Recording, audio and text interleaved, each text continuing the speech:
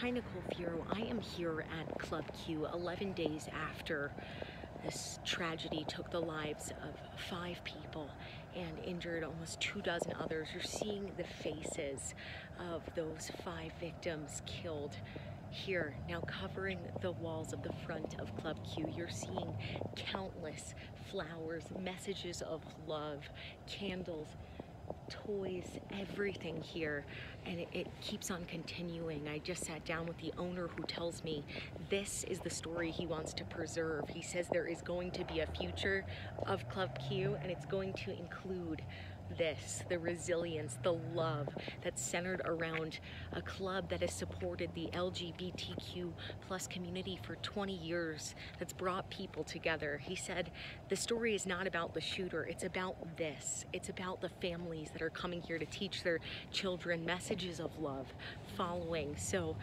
yeah, he said the plan's exactly what they're gonna be, not clear yet, that they are going to, you know, the discussions have already started, that they're going to talk to many stakeholders, but one thing that they have started already is a GoFundMe that will help with the rebuilding, that will help with a permanent memorial, and that will help support the employees that worked here that night, that have been working here, that now are mourning and, and trying to heal and do not have this job to go to.